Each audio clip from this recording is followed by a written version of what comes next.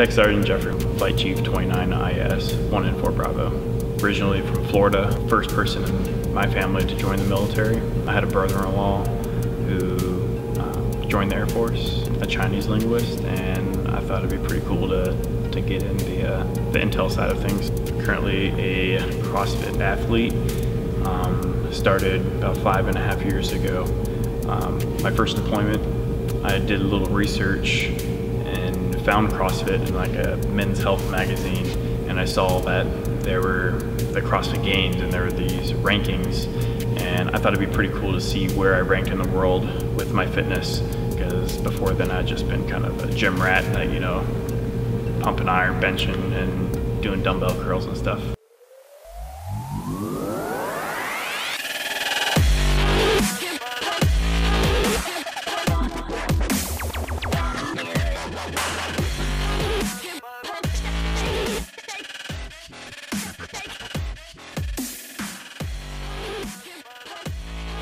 Past five years, I've kind of started chasing people in the gym, trying to catch up to people um, fitness wise, because um, we post our scores every day. So I'm trying to be, you know, I'm I'm competitive, so I'm trying to be the top of the leaderboard on you know the daily basis. If you look back over the past five years of my scores, they've uh, they've slowly started increasing uh, or decreasing. So I believe this past year I was I finally broke the top thousand in the world joining CrossFit made me a better person, really because I'm a lot more consistent with my goals because of the sense of community around me.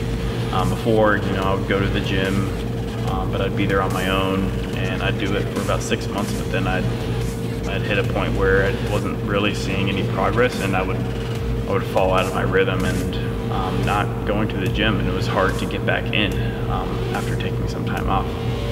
So what I found when joining CrossFit was the sense of community. Um, when I maybe felt was feeling down um, or feeling like I wasn't getting progress, and I wouldn't show up to the gym for a few days, I had people hitting me up on Facebook or texting me asking where I was, and they wanted me to come in and you know work out with them.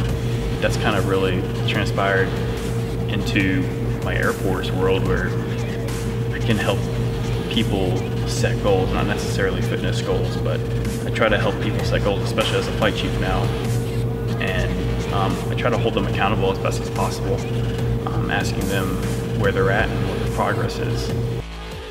Um, pick something and train for it. Find a find a goal and have a purpose behind why you're in the gym, so that when you are feeling, you know, down or like you're not getting that progress, um, you can remember that you have this goal and you're training for this goal. You're not here working out just just because you have a, a purpose.